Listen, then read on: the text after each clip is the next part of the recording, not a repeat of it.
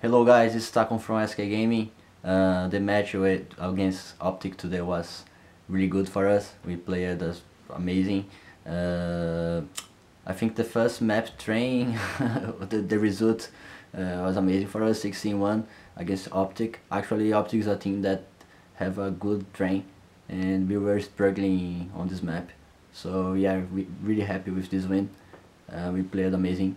Uh, Overpass is a map that we, we feel really comfortable to play, so I think we were confident. We were ready to this, to this map. So thanks for your support, and tomorrow we're gonna play the Grand Finals.